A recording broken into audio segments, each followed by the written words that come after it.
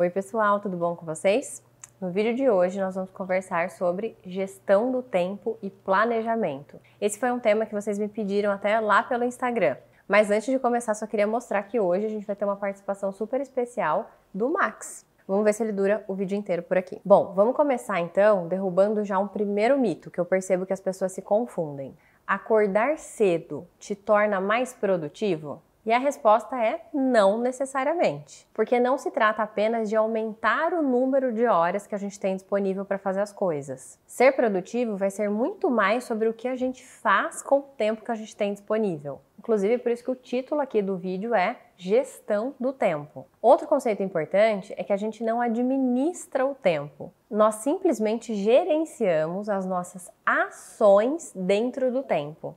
O tempo em si, ele só passa, ele só está transcorrendo. Esse vai ser um conceito importante que eu vou retomar no final. Então, gerir o tempo de maneira eficaz significa produzir mais e melhor no menor tempo possível. Inclusive, uma crença limitante que é comum as pessoas terem às vezes é justamente essa ideia de eu preciso me matar de trabalhar para ser bem sucedido. E nem sempre trabalhar muitas horas significa produzir muitas horas. E nesse sentido, vale a pena citar o trabalho de um historiador inglês chamado Parkinson, que foi publicado na revista The Economist em 1955, no qual o assunto principal ficou conhecido como a Lei de Parkinson, que levou o nome dele, que basicamente dizia que todo trabalho expande-se de modo a preencher o tempo disponível para sua realização. Em outras palavras, isso significa dizer que quanto mais tempo a gente tem para fazer um trabalho, mais tempo a gente demora para realizá-lo. Se você tem um prazo de um dia, provavelmente você fará em um dia. Se você tem um prazo de dois dias para realizar a mesma coisa,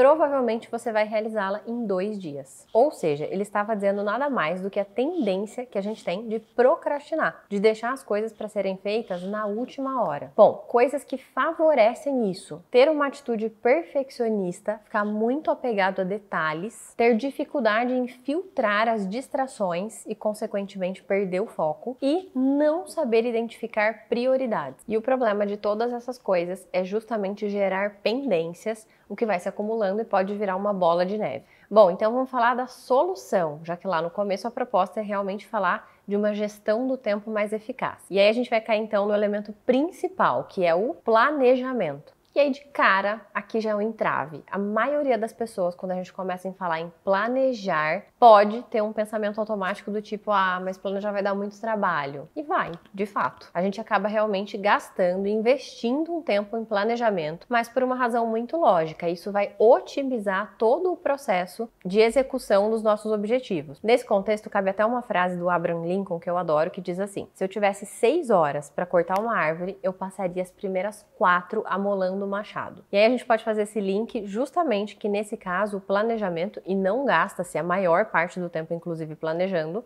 mas é ele que realmente vai preparar o terreno para que a gente consiga executar as nossas coisas da forma mais eficiente possível. Outro exemplo bem simples que a gente pode pensar é no caso da construção de uma casa. Já pensou se você fosse construir uma casa e você vai fazendo? Quantas coisas no meio desse processo você vai ter que refazer, arrumar? É por isso que no caso de uma coisa tão complexa como essa, tem uma etapa necessariamente antes que é um projeto, uma organização, um planejamento e ainda assim sempre vai ter alguma coisa ou outra para arrumar, mas isso já otimiza muito.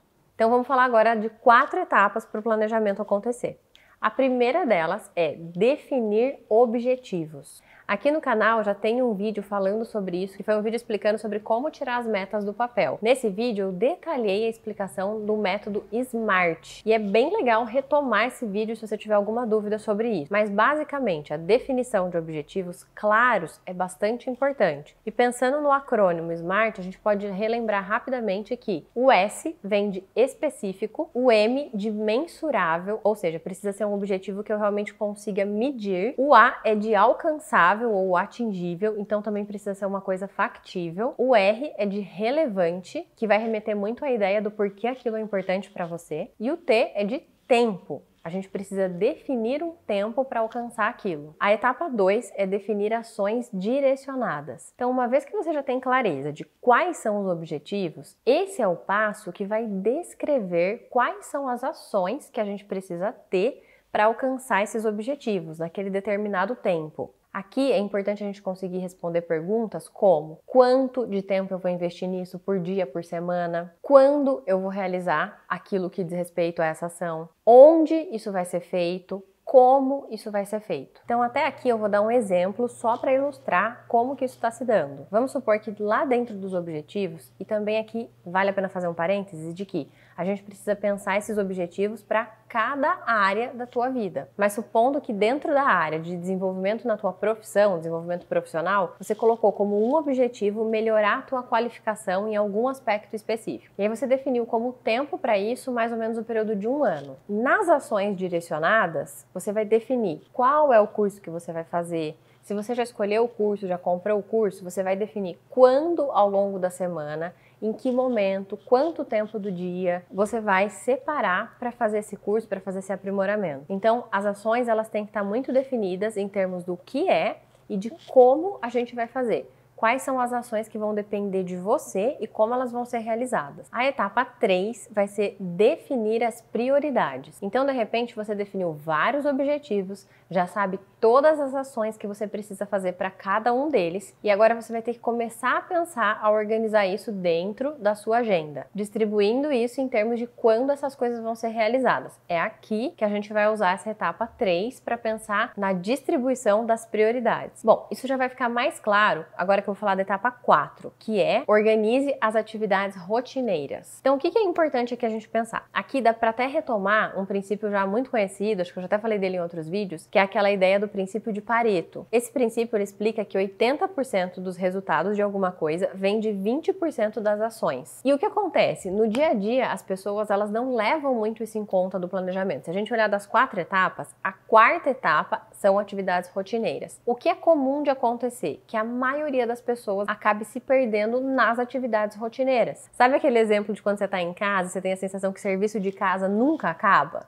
É mais ou menos isso. E se você ficar em função dessas coisas, o seu tempo ele vai ficar todo para isso. Só que essas não são as atividades principais. Então a ideia até da etapa 3, que é estabelecer e definir as prioridades, é para que realmente a gente consiga olhar naquele rol dos teus objetivos quais são as coisas mais importantes. Esses 20% vão ser responsáveis pela maior resposta de mudança ou de ações da tua vida que te interessa. Uma coisa importante aqui das atividades rotineiras, então, é que a gente vai encaixar elas dentro da organização e planejamento. E não que as outras coisas vão ficar em função delas, ou se sobrar tempo, a gente vai fazer as outras coisas. Outro aspecto importante aqui nesse item 4, que é das atividades rotineiras, é a gente conseguir olhar para tudo aquilo que a gente consegue ou eliminar ou delegar, já que não são as coisas mais importantes da gente se focar ou investir o nosso tempo. Dito isso, vamos falar então de algumas algumas dicas práticas de como operacionalizar o planejamento. O primeiro elemento é ter uma agenda. E aqui a agenda não necessariamente é uma agenda física. O método você pode escolher o que você quiser. Pode ser um aplicativo, pode ser no seu celular, pode ser num caderno, pode ser uma agenda. A ideia é que você escolha alguma forma para organizar todas essas informações que a gente falou até aqui. Além disso, aqui vai entrar um outro aspecto fundamental ligado com esse quesito de agenda, que é estipular um tempo para cada uma das atividades. É comum acontecer com quem tenta se organizar e fazer um planejamento, da pessoa fazer até uma lista. Só que essa lista, ela não está organizada e planejada, ou seja, não tem uma estimativa de tempo para aquelas coisas. Então, o mais comum é que as pessoas elas façam a lista e aí chega no final do dia, sobra um monte de coisa, talvez que não deu tempo de fazer. Ela passa aquelas coisas para um outro dia. E aí isso vai ficando. A ideia de um bom planejamento é que a gente consiga estimar, inclusive, o tempo para cada atividade. Por quê? Voltando lá no começo do vídeo, por aquela regra, por aquela lei de Parkinson. Dependendo quanto tempo eu tenho, ou se eu não tenho limite, ou se eu não coloquei um prazo, a minha tendência é talvez demorar mais tempo para fazer coisas que se eu tivesse um limite, a gente talvez se colocaria com mais disposição para fazer dentro daquele limite. Aqui tem um contraponto. Tem gente que superestima o tempo para algumas tarefas, né? Acha que dá para fazer muita coisa com pouco tempo. Então isso também é uma percepção equivocada do tempo que precisa ir sendo ajustada. A ideia do planejamento também é um treino, é uma habilidade. Já que é uma habilidade que precisa ser treinada, outro aspecto, outra dica prática também relacionada com esse elemento da agenda é conferir a agenda. Então, conferir a agenda é o que te ajuda aí melhorando a sua habilidade de planejamento. Tem gente que no final de semana monta a agenda lindamente e aí não confere a agenda ao longo da semana. Isso não adianta muito. Ao conferir, se você notar que alguma atividade não deu tempo de ser realizada, você já pode fazer essa análise, verificar se foi um erro na hora de estimar o tempo, se realmente foi algum imprevisto, alguma coisa que aconteceu que você não estava contando. Ou, inclusive, tem um aspecto bem interessante aqui que é se você gastou ali um tempo emocional. O que é gastar um tempo emocional? É quando às vezes você perde muito tempo se irritando, se indignando com alguma coisa que não deu certo, que não saiu como você queria, e não necessariamente você está focado em resolver o problema. Então você gasta um tempo ali reclamando, ruminando sobre aquela situação.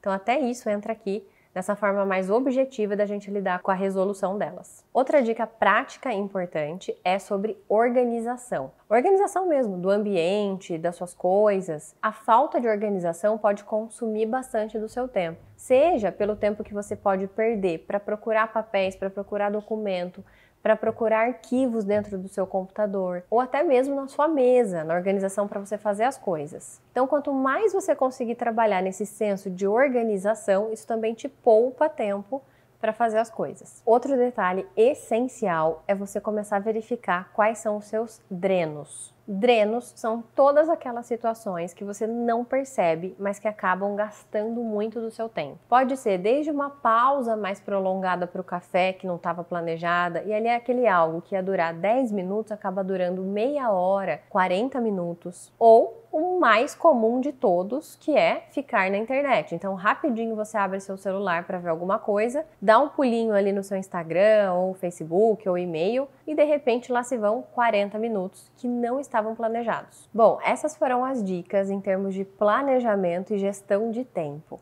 O que, é importante a gente salientar? Que realmente isso vai demandar um investimento de tempo e um exercício para desenvolver essa habilidade. A ideia não é que você vire um robô com todos os horários extremamente programados e que não possa sair disso. A ideia de um bom planejamento é realmente ele ser um norte muito claro de todas as ações e da forma mais eficiente de realizá-las. Isso não é necessariamente rígido, a ideia é que a gente tenha uma flexibilidade, ou seja, se alguma coisa não deu, não saiu daquela forma como estava organizada, é só questão de reorganizar, de replanejar isso. Por outro lado, não ter planejamento algum também dificulta você alcançar seus objetivos da forma mais assertiva, como aquele exemplo da casa que eu estava falando. Pense na mesma lógica, é como simplesmente se você estivesse indo e construindo, e aí não necessariamente isso vai ser a forma mais rápida e mais eficiente. Por fim, e retomando aquele mito inicial que eu falei no começo, não se trata apenas de acordar mais cedo que vai dizer a hora que você precisa acordar ou ir dormir vai ser o seu planejamento, todos os seus objetivos